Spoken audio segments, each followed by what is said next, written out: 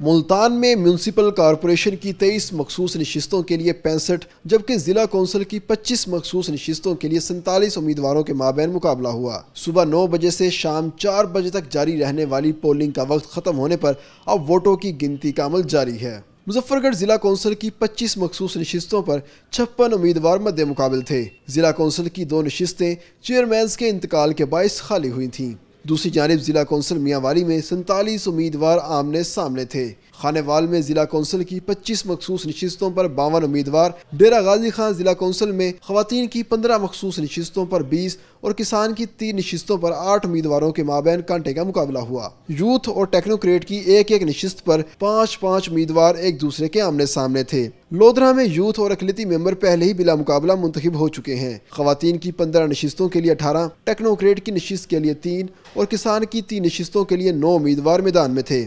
رحیم یار خاں میں ایک سو انتالیس ووٹوں میں سے ایک سو اٹھتیس کاسٹ کیے گئے۔ آخری ووٹر بیماری کے باعث اسپتال میں زیر علاج تھا، جبکہ ضلع کونسل بہاول نگر کی ضلع کونسل کے لیے پچیس نشستوں پر بھی مقابلہ ہوا۔